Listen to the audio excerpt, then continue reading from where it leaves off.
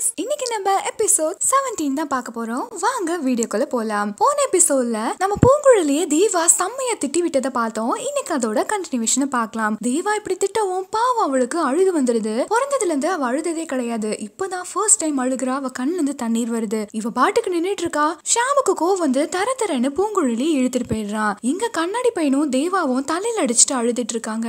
இப்ப கரெக்டா doctor angel முடிச்சுட்டாங்க போய் பாருங்க அப்படின்னு சொல்லவும் அவளை வந்து பாக்குறதுக்காக வராங்க. அவளை சிரிக்க வைக்கிறதுக்காக இவங்க ரெண்டு பேருமே பாடுபட்டுட்டு இருக்காங்க. எப்படி மூணு பேரும் நல்லபடியா பேசிட்டு இருக்காங்க. அடுத்த சீன்ல அந்த பாஸ் லேடியை தான் பாக்குறதுக்காக நம்ம தேவா போறான். இவ்வளவு பிரச்சனை நடந்ததுக்கு இவதான் காரணம்னு இவனுக்கு நல்லாவே தெரிஞ்சது நீ தான் அந்த வில்லனை வச்சு இவ்வளவும் பிளான் பண்ணிருக்க. தேவையில்லாம என்னோட பிரச்சனைக்குள்ள நீ வராத. உனக்கு தேவை வேலையில நான் கரெக்டா இருக்கணும். வேலையில நான் கரெக்டா தானே இருக்கேன். அப்புறம் இதுக்கு தேவையில்லாம என்ன நீ ஃபாலோ பண்ணிட்டே இருக்க அப்படின்னு சொல்லிட்டு இவளை வந்து மிரட்டிட்டு இருக்கான். இவளுக்கு ஒண்ணுமே புரியல. என்ன பேசுற? நான் யாரை ஃபாலோ பண்ணிட்டு இருக்கேன் அப்படின்னு யோசிச்சுட்டு இருக்கா. ஒன்னும் தெரியாத மாதிரி நடிக்காத. இதுக்கு மேல நீ என்ன டிஸ்டர்ப் பண்ணனா அவ்வளவுதான். நம்ம அக்ரிமெண்ட்டும் வேணா என் உயிர் எனக்கு தேவலன்னு சொல்லிட்டு நான் பாட்டுக்கு போயிட்டே இருப்பேன் அப்படின்னு சொல்லிட்டு நம்ம ஹீரோ பாட்டுக்கு கிளம்பிடுறான். இங்க அடுத்த சைன்ல நம்ம ஏஞ்சலை பாக்குறதுக்காக ஒரு அழகான ஃபிளாஷ் வாங்கிட்டு நம்ம பூங்குழலி உள்ள வரா. அவளுக்கு எப்படி சாரி சொல்றதுன்னு கூட தெரியல. அழகா ஒரு பேப்பர்ல வரைஞ்சிட்டு பொம்மை மாதிரி வரைஞ்சிட்டு சாரி லெட்டர் அப்படின்னு சொல்லிட்டு கொடுக்குறா. என்னது இது? அப்படின்னு ஏஞ்சல் கேக்குறா. இல்ல நீ தானே என்ன காப்பாத்துன. என் உயிரை காப்பாத்துறதுக்காக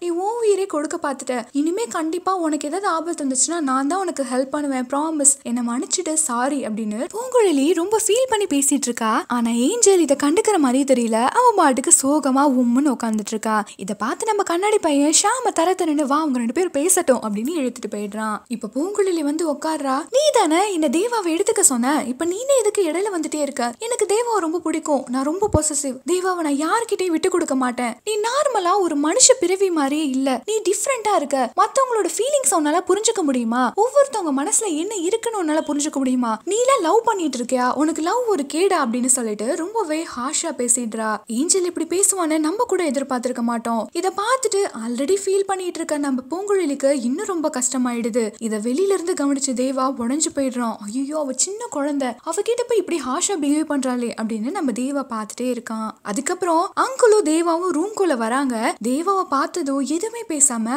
அமைதியா போயிடுறா. ஏன்னா இவன் தானே என் மூஞ்சிலே முழிக்காதுன்னு சொல்லியிருப்பான். அதனால எதுவுமே பேசாம அமைதியே வந்திருக்கா. இப்ப ஷாமும் பூங்குழலியும் ஒரு ஷாப்ல உட்காந்துட்டு காஃபி சாப்பிட்டுட்டு இருக்காங்க இப்போ நார்மலா ஒரு பொண்ணுனா எப்படி இருக்கணும்? எனக்கு மத்தவங்க ஃபீலிங்ஸை புரிஞ்சுக்க முடியாதா? அப்படின்னு ரொம்ப சோகமா கேட்டுட்டு இருக்கா இப்ப ஷாம் சொல்றான் அதெல்லாம் ஒண்ணும் இல்ல. நீ நீ யாரு? உண்மையை சொல்ல போனா இருக்க மத்த ஆளுங்களை விட நீ ரொம்பவே நல்ல பொண்ணு. உன் மனசு ரொம்ப வெள்ள நீ யாருக்குமே கெடுதல் நினைக்க மாட்ட அப்படின்னு ஷாம் சொல்லிட்டு இருக்கான். அப்படியே ரெண்டு பேருமே பேசிட்டே வீட்டுக்கு வராங்க. வீட்டுக்கு வந்ததுக்கப்புறம் ஷாம் நான் உன்கிட்ட ஒன்னு கேக்குறேன். நான் கொஞ்ச நாள் மட்டும் உன் கூடவே ஸ்டே பண்ணிக்கவா அப்படின்னு கேக்குறா. ஆஹா இது தானே நம்ம ஷாம் எதிர்பார்த்தா? இவன் நம்ம கூடயே இருந்தா கண்டிப்பா நம்மள லவ் பண்ண சான்ஸ் இருக்குன்னு நம்ம ஷாம் நினைக்கிறான். உடனே இதை தானே நான் எதிர்பார்த்தேன். நீ எவ்வளவு நாள் வேணாலும் இங்கேயே தங்கிக்கோ. இங்கேயே இருக்கிறதுனா கூட நீ இங்கேயே இருந்துக்கோ. எனக்கு ஒரு பிரச்சனையும் இல்லை அப்படின்னு ரொம்ப சந்தோஷமா சிரிக்கிறான். அப்படி இந்த சீன் கட் ஆகுது. அடுத்த சீன்ல நம்ம தேவாவை தான் காட்டுறாங்க. அவ ரூம்ல வந்துட்டு அவ அந்த ரூம்ல கத்தி கத்தி விளையாண்டுட்டு இருப்பால அது எல்லாத்தையும் நினைச்சு பார்த்துட்டு ஹீரோயினை ரொம்பவே மிஸ் பண்றான். அப்படி இந்த சீன் கட் ஆகுது. அடுத்த சீன்ல நம்ம அங்கிளோட ஃப்ரெண்டு ஒருத்தவரை கூட்டிட்டு வந்து அந்த அங்கிள் யாரு அப்படின்னு அந்த வில்லன் விசாரிச்சிட்டு இருக்கான். அந்த அங்கிளுக்கு ஒரு சின்ன பையன் இருந்தான். அவனோட வைஃப் இறந்துட்டாங்க. அந்த சின்ன பையனை எப்படியாவது பாத்துக்கணும்னு சொல்லிட்டு அவனே இறந்த மாதிரி ஒரு இன்சூரன்ஸ் போட்டு அதுல கிடைச்ச பணத்தை அந்த பையன் கிட்ட கொடுத்துட்டு இவன் ஓடி வந்துட்டான். அதுக்கப்புறம் அவனை பத்தி நான் டீட்டெயில்ஸ் எல்லாம் கேட்க விரும்பல. எங்களுக்கு எங்க கேங்குக்கே ஒரு பணம் தான் தேவையா இருந்துச்சு. அதனால ஒவ்வொருத்தவங்களோட ஃபேமிலி டீட்டெயில்ஸ்லாம் கேட்கல ஆனா அந்த வருஷத்துல அந்த பையனை பேட்டி எடுத்தாங்க நியூஸ்ல அப்படின்னு சொல்லிட்டு இந்த அங்கிள் சொல்லிட்டு இருக்காங்க. இந்த வில்லனுக்கு ஒரு யோசனை வருது. அந்த அங்கிளுக்கு ஒரு ஃபேமிலி இருக்கு. அப்ப அந்த ஃபேமிலி வச்சு பிளாக்மெயில் பண்ணா இந்த அங்கிளை ஈஸியா பிடிச்சிடலாம். அந்த பாக்ஸோட பேட்டர்னை தெரிஞ்சுக்கலாம் அப்படின்னு இந்த வில்லன் யோசிக்கிறான். அப்படி இந்த சீன் கட் பண்றாங்க.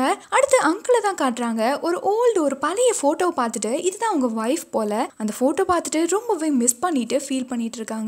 இவர் மனசுக்குள்ள என்ன நினைச்சிட்டு இருக்காருன்னு ஒண்ணுமே புரியல. அப்படி சீன் கட் ஆகுது. அடுத்த சீன்ல நம்ம ஷாம் முழிக்கிறான். நம்ம ஷாமுக்காக ஆம்லேட் வெஜிடபிள்ஸ் சொல்லிட்டு பிரேக்ஃபாஸ்ட்லாம் சமைச்சு வச்சுட்டு நம்ம ஹீரோயின் இங்கே வெளியில போயிருக்கா. இப்ப ஷாம் கால் பண்ணி எங்க ஆளே காணோம். எனக்காக சமைச்சுலாம் வச்சிருக்க போல? அப்படின்னு சந்தோஷப்பட்டு கேட்டுட்டு இருக்கான் ஆமா ஆமா. உனக்காக நான் சமைச்சு வச்சிருக்கேன். நான் வேலை தேடி வெளியில வந்திருக்கேன். நீ சாப்பிட்டு முடிச்சிரு. நான் அப்புறமா கூப்பிடுறேன். அப்படின்னு சொல்லிட்டு வச்சிடுறா. இதெல்லாம் நினைச்சு பார்த்துட்டு ஷாமுக்கு அவ்வளோ சந்தோஷமா இருக்கு. எனக்காக சமைச்சிருக்காளா? அப்படின்னு சொல்லிட்டு அதை சாப்பிட கூட இல்ல அழகா போட்டோ எடுத்து வச்சுட்டு ஃபீல் பண்ணிட்டு இருக்கான் அப்படி இந்த சீன் கட் ஆகுது. அடுத்த சீன்ல எப்படியோ அட்ரஸ்லாம் கண்டுபிடிச்சிட்டு ஒரு பஸ்ல வந்து ஏறி வரா. அதுல தான் டிக்கெட்டுக்கு பணம் கொடுக்கணும்ல. ஸோ அவன் அங்கங்க தேடி பாக்குறா.